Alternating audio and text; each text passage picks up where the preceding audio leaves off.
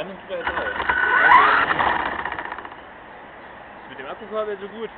Wo bin gespannt.